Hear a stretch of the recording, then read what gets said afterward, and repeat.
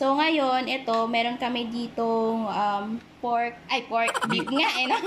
beef Beef sirloin.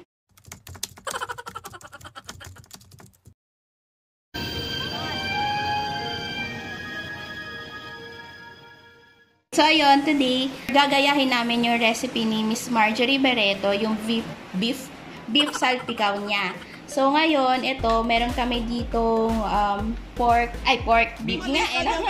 beef sirloin. Yun, so, kanina, minarinate ko na siya sa nor seasoning, saka pepper lang. Maraming maraming pepper. Yes, maraming maraming pepper. So, ayan.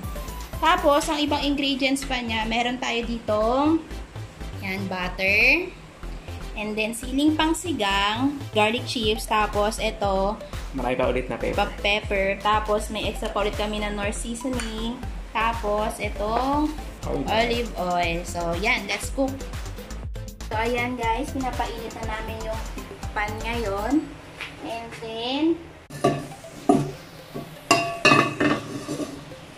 yan. Tapos, lagay na natin si garlic. Yan.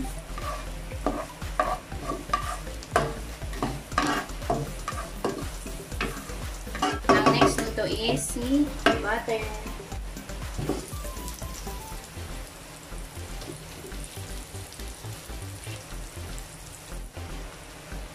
Kabilang side, sili. Pinalay apoy niya, eh, no? Ayaw niya kasi ano, eh, no? Ma-brown or masunog or ma-toasted. Yung garlic niya.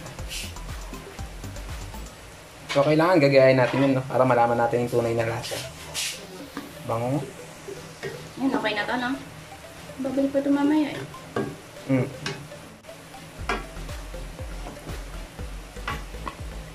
Ay, sayang.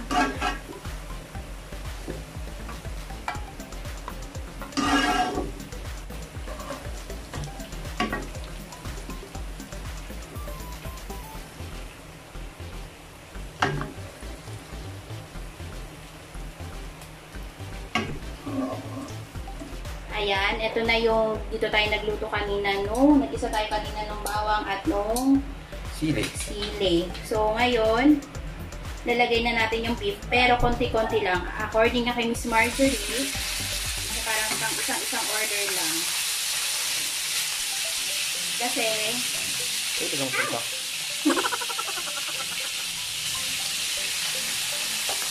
kasi ayaw niya yung magsasabaw yung, Yung beef. yung beef. So, ang goal kasi dito is mag-fry-fry siya. Tapos, at the same time, dadagdag-dagdag pa siya ng Walang katapusang pepper. Saka pepper, saka seasoning. ang bango, guys.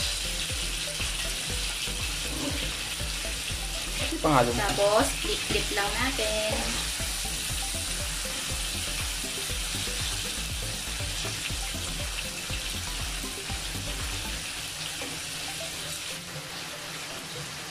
Parang may kahog na siya na amoy. Parang yung sa mga steak na, no? Mm. Parang nagsabaw ba? Hindi.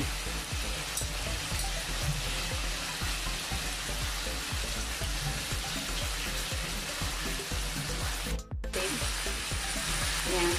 Okay na na. Ayan. So, after nyan, kunin na natin. Set aside muna natin.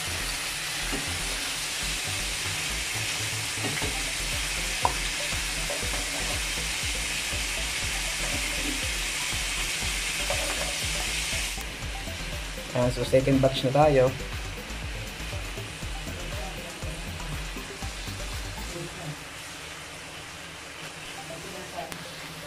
Tapos pepper ulit. Tapos seasoning.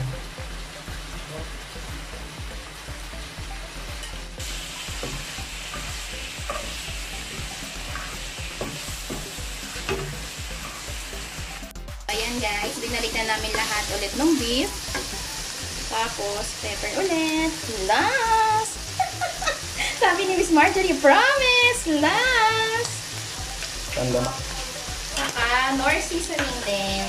Tapos na din. Last! Promise! Sabi niya. Ayan, so ngayon, mix lang muna natin saglit. Bilis lang yun, no? Na medyo matagal lang is kung marami kayong lulutuin tapos kailangan kasi by budget para nga hindi siya magsabaw. Dapat ganyan lang siya. Walang sabaw. Pero if ever na magsabaw, tanggalin nyo lang yung sabaw, lagyan nyo ulit ng mantika, saka butter ulit. Ang bago lang. Kasi magtutuloy-tuloy na siya. Malalaga yung mga susunod yung lulutuin. Hindi na siya mag-fry. Ayan, pwede na natin lagay yung ano, no? Ayan, so ito na. Balik na natin si garlic. May konting sili. Kasi yung sili niya is pan toppings lang eh, no? Oo. Yan. And after na ito, we're done. So, ayan guys. Ito na yung finished product natin ng beef salpicao. Ilagay na namin sa toppings yung ginisa nating siling pang sigang saka yung iba pang garlic. So, ayan na.